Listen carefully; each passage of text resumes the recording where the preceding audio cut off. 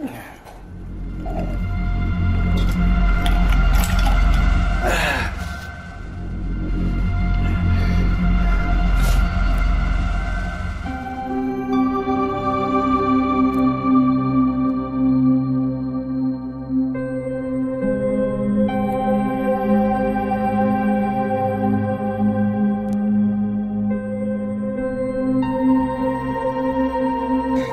Ako papayag na manatili sa inyo si Chloe Dalisay. Babalikan ko siya. At pagkatapos nun, pababagsakin kita ng buong task force namin.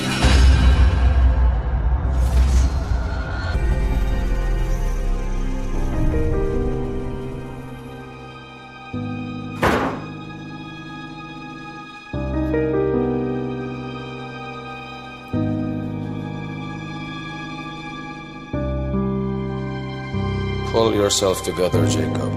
You cannot self-destruct. Hindi mo kailangan magmukmok at hindi mo rin kailangan magwala dahil marami pa tayong gagawin. Nasa kanila ba si Chloe? Balikan ko si Chloe. Kunin ko siya! Oo, babalikan natin siya pero babaguhin natin ang plano. What do you mean? Kailangan nating kumilos kaagad bago mahuli ang lahat. Jacob, napakahina mo naman. Mga pipitsugin lang na pulis, hindi mo pa kayang itumba? Muntik pa ulit ako tamaan ng bala. Kapag ako nabwisit at hindi mo ko kinuha dito, sasabihin ko ang lahat ng alam ko. Pasensyahan na lang tayo.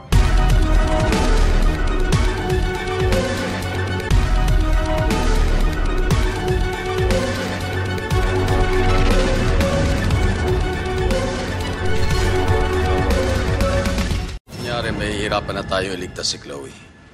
It doesn't help that we lost all our men. Drink up. Akala ko ba sabi mo, babalikan natin si Chloe. Sa palagay mo ba, makakalapit pa tayo sa kanila? Siguradong ihigpitan ng agila ang pagbabantay sa babae mo. So we do nothing. Sa ngayon, wala muna. Hanggat hindi tayo nakakabawi, Jacob, wala munang gagalaw dahil kailangan natin ng mas maraming tauhan at mas maraming armas.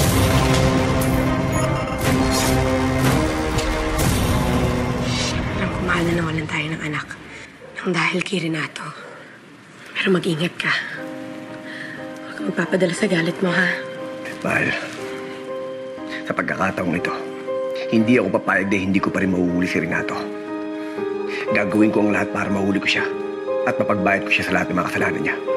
At kasama na doon si Jacob Serrano.